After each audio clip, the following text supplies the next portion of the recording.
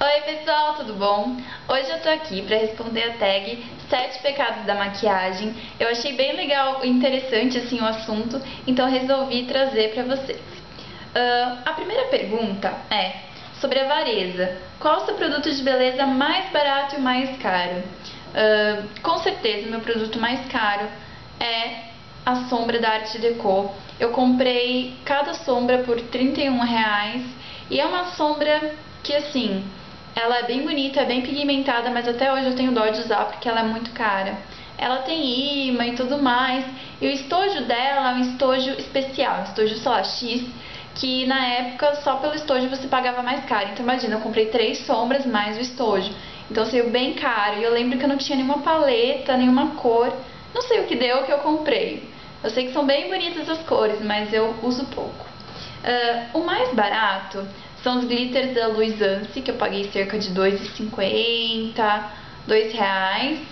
E também um lápis que eu tenho preto e branco, da Playboy, então é, foi R$ reais também, então acho que foi barato. Uh, pergunta 2. Com, com que produto de beleza tem uma relação de amor e ódio?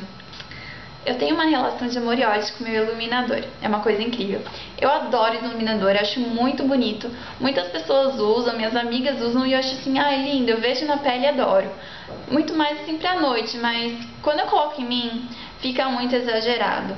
Minha pele já é super oleosa e eu tenho muito brilho na pele. Então, assim, qualquer coisa que eu passe um pouquinho a mais, já parece que eu tô super maquiada. Então, dificilmente eu uso iluminador. Mas eu gosto, eu uso à noite pra balada, somente isso. E muitas pessoas até comentam nos meus vídeos: Nossa, você passa muito iluminador no nariz, nossa, você usa muito iluminador. Gente, eu não uso iluminador, muito menos para gravar vídeo, né, de dia, assim, não uso. Então, não é iluminador, minha pele que é brilhosa mesmo, é bom esclarecer isso que eu sempre ouço. É, meu iluminador é esse daqui, ele é super lindo, eu tenho um amor, um xodó por ele, né, ele é ele é assim, ele é mosaico. Ele é lindo, maravilhoso, Outdoor Girl. Certo. E aqui ele tem um, um triângulo. Ah, é linda a embalagem, eu sou apaixonada por ele. Amo, de paixão. 3. Gula. Ah, qual é o seu produto de beleza mais delicioso? Com certeza é o meu balme da Disse Berenice, que é uma nova marca do grupo Boticário, né, mais popular. Eu paguei 15 reais nele, mas é uma delícia. De frutas vermelhas, deixa a boca bem assim, rosadinha, vermelhinha. É a cor mais escura que tinha. Então, eu gosto bastante, eu uso diariamente. Uh, vamos ver. Pergunta 4. Preguiça. Qual, seu, qual produto usa quando está com preguiça? Hum, bom, gente. Uh, eu não saio todo dia de maquiagem. Outra coisa que eu queria deixar clara nesse vídeo, aproveitando, é todas as maquiagens que eu faço aqui no canal tem verde, azul. Gente, eu não uso aquilo dia a dia. Vocês falam, ah, é forte, ah, é não sei o que lá. Gente, aquilo lá, assim, é pedidos que eu faço, é uma campanha que eu vejo, eu acho legal, fotografia. Não que eu saia na rua, assim, com maquiagem, cílios postiços, né? Mas eu tenho preguiça de passar maquiagem. Eu não gosto de passar maquiagem todo dia. Mas uma coisa que eu uso todo dia quando tô com preguiça agora é o BB Cream, porque ele é base, ele é protetor, hidratante e é primer também, então meu rosto fica super bom, eu não preciso passar mais nada. Em 2, 3 minutos eu espalho no rosto inteiro e saio. Uma coisa que eu não, que eu não fico sem antes do BB Cream, corretivo e blush. Eu não preciso estar com rímel, eu não preciso estar com batom, mas se eu tiver corretivo e blush eu já fico feliz. Então, quando eu tô com preguiça, sempre um corretivo na mão e um blush. Um, qual produto de beleza te deixa mais confiante? Essa pergunta de orgulho. Uh, o, é, o, produto de beleza que me deixa mais confiante, sem dúvida nenhuma, é a minha base. Tem dia, assim, que eu me sinto super feia, que eu não. Sabe? Quando você põe uma roupa, muda um cabelo e nada tá bom. Até isso, sim, é engraçado, porque nós mulheres, às vezes a gente abre nossa guarda-roupa e fala: não tenho nada pra vestir, tô horrível, não quero sair, meu cabelo tá ruim. E eu falo, vou passar a base. Aí eu passo e eu me sinto melhor. Essa minha base eu uso muito raramente, porque eu gosto muito dela. E ela rende muito também, faz um ano e pouco que eu tenho ela, um ano e meio. Só que eu tenho dó de usar, que é essa daqui, que eu tenho, LA Girl Perfect Liquid Makeup. E essa base, ela é bem sequinha na pele e dura o dia inteiro, assim. Tampa todas as minhas marcas de espinhas, meus buraquinhos no rosto, meus cravos, tudo mesmo, até não precisa nem usar corretivo. E ela é meio mousse, então ela vai acabando, ela vai descendo, ela não suja nem o vidro. E quando eu passo ela é muito engraçado.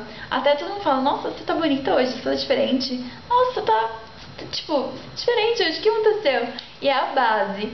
Geralmente quando eu saía com o meu namorado, eu passava a base e falava, nossa amor, você tá linda hoje. Eu, uh, é a base, gente, não, não era eu. A base me dava essa autoconfiança.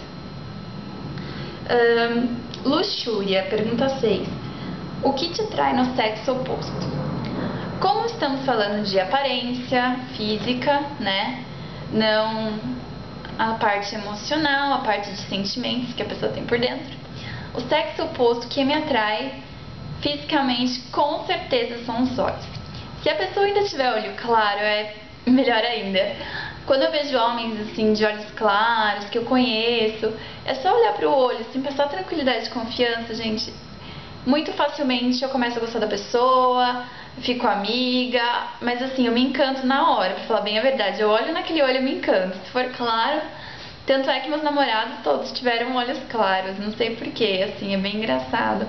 Eu olhei e passou uma confiança e eu começo a ficar apaixonada. Então, os olhos com toda certeza. E também aqueles olhos meio puxados. Não de mestiço que eu falo, nem japonês, mas assim, olhos assim, é, tipo Ashton Kutcher, sabe? Que tem um olhinho assim, meio puxado, meio misterioso. Eu gosto disso também. Outra coisa que eu gosto na aparência é o sorriso. Eu adoro pessoa que sorri o tempo todo, que tá com a cabeça erguida, parece assim uma pessoa que tá de bem com a vida, sabe? Não é aquela pessoa que tá reclamando. Porque a gente quer sair com alguém que divirta a gente, né? Que esteja de bem com a vida. Eu acho que o sorriso é um sinal disso. Pergunta 7 e última. Inveja. Qual é o último produto que você viu alguém usando e desejou ter? Com certeza também os produtos da Sigma. Eu não tenho nada da Sigma. Eu queria muito poder ter os pincéis para poder comprar com os meus, ver como que é, se é tudo isso que o pessoal fala. E as paletas da Sigma eu acho muito lindas, mesmo. Eu acho bem legal. E eu tenho uma coisa que eu vejo em todos os blogs, que é o editor de vídeo, o iMovie. E eu quero muito, meu computador não é Mac, eu não gosto do Mac, eu tenho Mac, eu uso o computador Mac na faculdade. Ele é muito chato, eu sei mexer, mas ele é muito chato. Ai, não sei, eu não, não gosto daquele computador. Porém, o editor de vídeo dele é perfeito. Então, assim, é, eu gostaria de ter um editor de vídeo, que não é um produto que se compra, né?